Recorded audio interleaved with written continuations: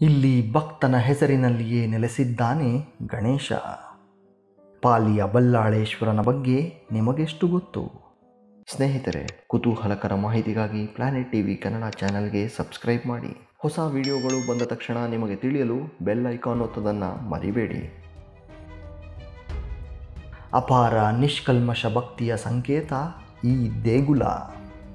ಗಣೇಶ ಪುರಾಣದಲ್ಲಿ ಗಣೇಶನ ಲೀಲಾಮೃತಗಳನ್ನು ಸ್ವಚ್ಛಂದವಾಗಿ ವರ್ಣಿಸಲಾಗಿದ್ದು, ಅದರಲ್ಲಿನ ಉಪಾಸನ ಕಂಡ ಇಪ್ಪತ್ತೆರಡರಲ್ಲಿ ಬರುವುದೇ ಈ ಪಾಲಿಪುರಿ ಅಥವಾ ಪಾಲಿಯ ವಿನಾಯಕನ ಚರಿತ್ರೆ.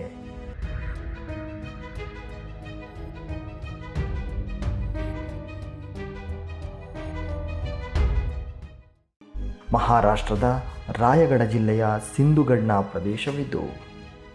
ಪುರಾಣ ಕಾಲದಲ್ಲಿ ಈಗಿನ ಪಾಲಿಯು ಪಾಲಿಪುರಿ ಎಂಬ ಹೆಸರಿನಿಂದ ಕರೆಸಿಕೊಳ್ಳುತ್ತಿತ್ತು.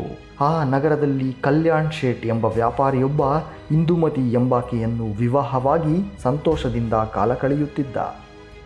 ಮದುವೆಯಾಗಿ ಬಹಳ ವರ್ಷಗಳ ಮೇಲೆ ದಂಪತಿಗೆ ಪುತ್ರ ಸಂತಾನವಾಗಿ ಜನಿಸಿದ ಮಗುವಿಗೆ ಬಲ್ಲಾಳ ಎಂದು ಹೆಸರಿಟ್ಟರು.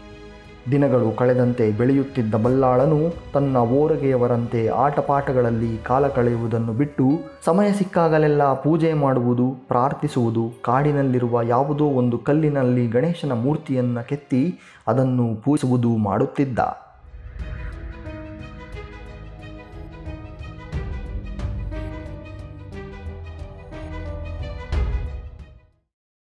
ಹೀಗೆ ದೈವಭಕ್ತನಾಗಿ ಓರಗೆಯವರನ್ನು ತನ್ನ ಕೂಡಿ ಬರುವ ಗೆಳೆಯರನ್ನು ಪೂಜೆ ಮಾಡಲು ಪ್ರೇರೇಪಿಸುತ್ತಿದ್ದನು. ಇದರಿಂದಾಗಿ ದಿನವೂ ಎಲ್ಲ ಹುಡುಗರು ಮನೆ ಸೇರುವುದು ತಡವಾಗುತ್ತಿತ್ತು. ಇವನ್ನೆಲ್ಲ ಗಮನಿಸುತ್ತಿದ್ದ ಪಾಲಕರು ಸುಮ್ಮನಿರದೆ ಇವಕ್ಕೆಲ್ಲ ಬಲ್ಲಾಳನೇ ಕಾರಣನೆಂದು ಬಲ್ಲಾಳನ ತಂದೆಯಲ್ಲಿ ದೂರು ಕೊಟ್ಟರು.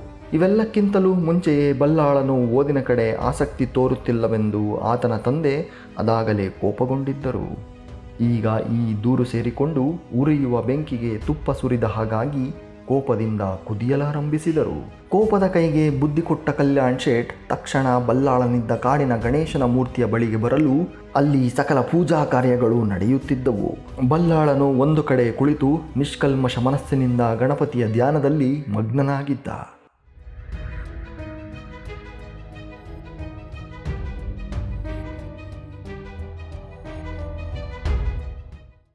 ಅವನ ಜೊತೆಗೆ ಅವನ ಸ್ನೇಹಿತರು ಕೂಡ ಧ್ಯಾನಾಸಕ್ತರಾಗಿ ಗಣೇಶ ಮೂರ್ತಿಯ ಮುಂದೆ ಕುಳಿತಿದ್ದರು. ಮೊದಲೇ ಕೋಪದಿಂದ ಕೂಡಿದ್ದ ಕಲ್ಯಾಣ್ ಶೇಟ್ಗೆ ಇವರು ಪೂಜೆ ಮಾಡಿ ಧ್ಯಾನ ಮಾಡುತ್ತಿರುವುದನ್ನು ಕಂಡು ಕೋಪವು ದುಪ್ಪಟ್ಟಾಗಿ ಹೋಯಿತು. ಕೂಡಲೇ ಜೋರಾಗಿ ಕಿರುಚುತ್ತಾ ಅಲ್ಲಿದ್ದ ಪೂಜಾ ಸಾಮಗ್ರಿಗಳನ್ನೆಲ್ಲ ಎತ್ತಿ ಬಿಸಾಡಿ ಅಲ್ಲಿದ್ದ ಗಣೇಶ ಮೂರ್ತಿಯನ್ನು ದೂರಕ್ಕೆ ತಳ್ಳಿದ.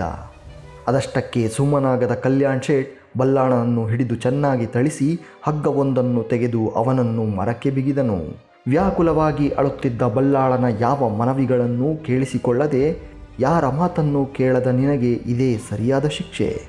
ಯಾವಾಗಲೂ ಗಣೇಶ, ಗಣೇಶನೆಂದು ಜಪಿಸುತ್ತಾ ಕುಕ್ಕರಿಸುತ್ತಿದ್ದೀಯಲ್ಲ, ಈಗ ಬಿಡಿಸುಕೋ.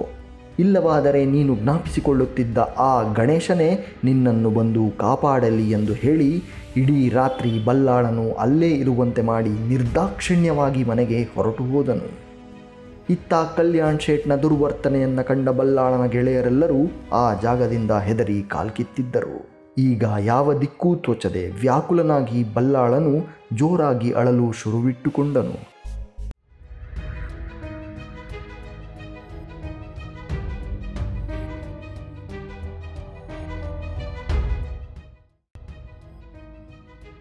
ಗಣೇಶನೇ ಪ್ರತ್ಯಕ್ಷನಾಗಿ ಭಕ್ತನನ್ನು ತಬ್ಬಿಕೊಂಡಿದ್ದ.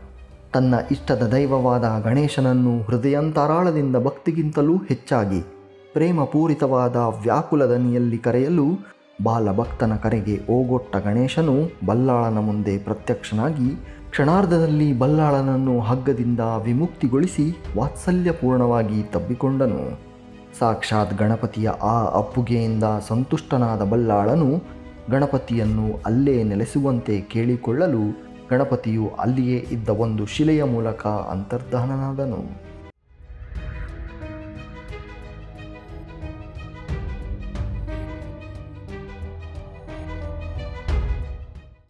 ಅದೇ ಶಿಲೆಯೇ ಇಂದು ಪೂಜಿಸಲ್ಪಡುತ್ತಿರುವ ಪಾಲಿಯ ಬಲ್ಲಾಳೇಶ್ವರ.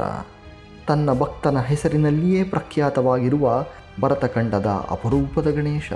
ಅಂದು ಕಲ್ಯಾಣ್ ಶೇಟ್ ದೂರಕ್ಕೆ ಬಿಸಾಡಿದ್ದ ಗಣಪ ವಿಗ್ರಹವೇ ಇಂದು ಪಾಲಿಯ ಬಳ್ಳಾಳೇಶ್ವರನ ಮಂದಿರದ ಹತ್ತಿರವಿರುವ ದುಂಡಿ ವಿನಾಯಕ ಈ ಮೂರ್ತಿಗೂ ಯಥಾವತ್ತಾಗಿ ಪೂಜೆ ಸಲ್ಲಿಸಲಾಗುತ್ತಿದೆ.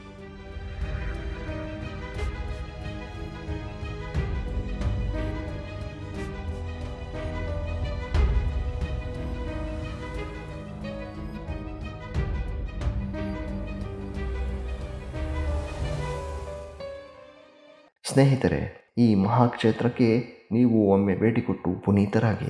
ಕುತೂಹಲಕರ ಮಾಹಿತಿಗಾಗಿ ಪ್ಲಾನೆಟ್ ಟಿವಿ ಕನ್ನಡ ಚಾನೆಲ್ಗೆ ಸಬ್ಸ್ಕ್ರೈಬ್ ಮಾಡಿ. ವಿಡಿಯೋಗಳನ್ನು ವೀಕ್ಷಿಸಿ, ಲೈಕ್ ಮತ್ತು ಶೇರ್ ಮಾಡಿ. ನಿಮ್ಮ ಅನಿಸಿಕೆಗಳನ್ನು ಕಾಮೆಂಟ್ ಬಾಕ್ಸ್ನಲ್ಲಿ ತಿಳಿಸಿ.